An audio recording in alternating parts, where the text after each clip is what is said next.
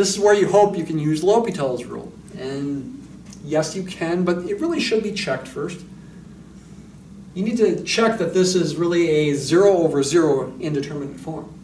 Are both the top and the bottom going to zero as x approaches four? Certainly the bottom is. 4 minus x is approaching 0 as x approaches 4. What about the natural log of x minus 1 over 3? Well, by continuity of the natural log function, you can take the limit inside first. As x approaches 4, the fraction inside is approaching 4 minus 1 over 3. 3 over 3 is 1. And the natural log of 1 is 0.